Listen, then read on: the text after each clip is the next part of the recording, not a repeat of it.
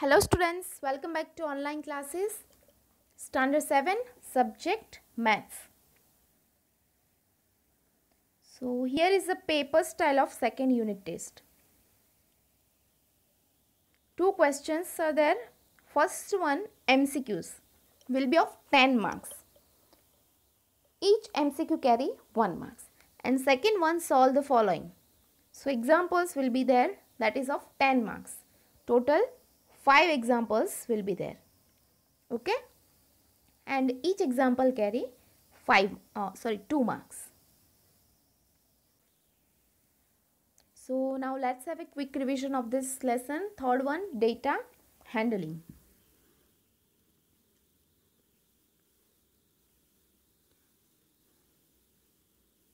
Data. What is the meaning of data? The information you have. The information you have that is the data. That number of students in your class, marks obtained by your students in your class. Then uh, performance of your class in maths. Okay, performance of India in football or cricket, female literacy rate in given area. All these are collection of data.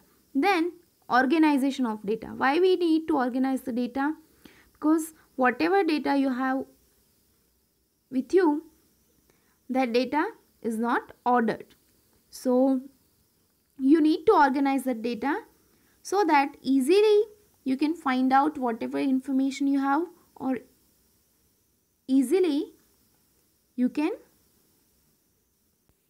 understand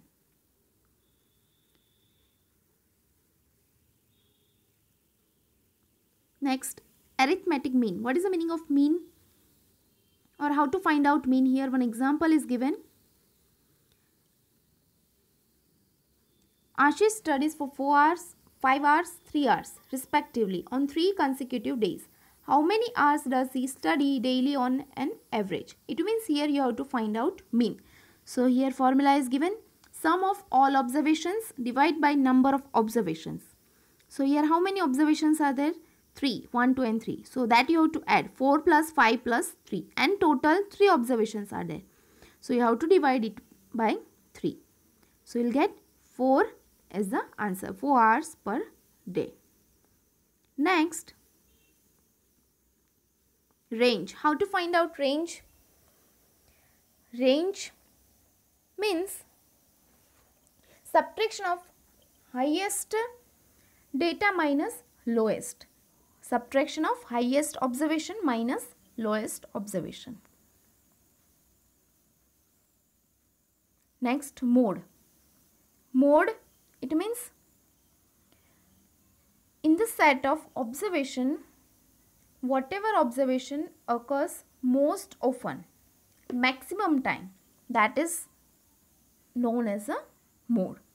That observation is mode that is answer.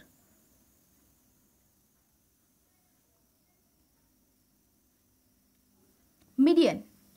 It means middle observation. Median means middle observation. But make sure whatever data is given that first you have to arrange in ascending order or descending order. And then you have to find out medial. Median it means middle observation. Okay. And then after it comes graph. So in exam you have to draw graph in a graph paper. If any question is there that is of graph, then you must have to draw in a graph paper. Okay. So here it was the revision of this lesson and at last conclusion of this lesson, summary of this lesson is given. What have we discussed? So this also you can refer for the revision. Thank you.